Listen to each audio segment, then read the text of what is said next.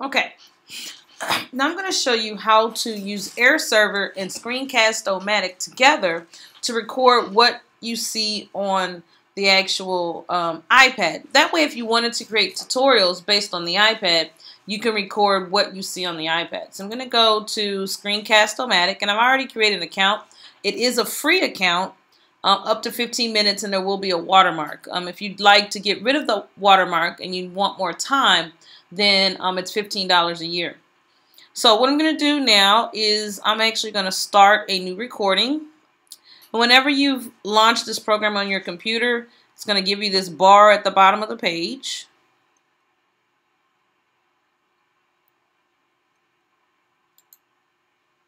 And then I'm going to just take this square and I am going to layer it on top of my AirServer screen. So here's my AirServer screen and this, um, let me move this out of the way. This, my AirServer screen, which is this, this is what's back here, that's my actual iPad screen.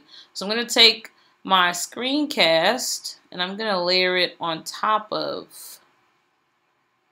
my um, AirServer screen. Okay. And so what happens is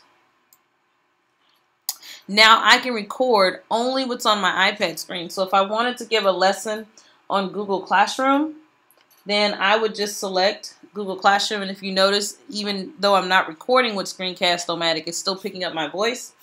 It would actually allow me to um, record what I'm doing on my iPad. So I'm going to go ahead and hit the record button and it'll give me a countdown. And then I can actually go into Google Classroom and I can create a video about Google Classroom from the iPad. Then when I'm finished, I'll hit the, the pause or stop button. If I don't like the recording, I'll hit the um, trash can. If I want to write extra information during my recording, I'll hit the pencil. But for now, I'm just going to click done. And when I click done, I'm actually just going to upload it to Screencast-O-Matic. Um, I'm going to publish it.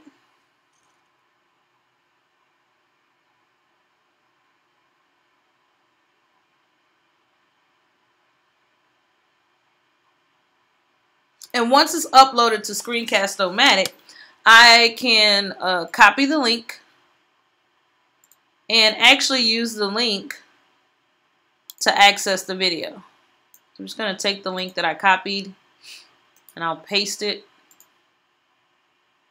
And that way I skip the step of uploading it to Google Drive. And there's my video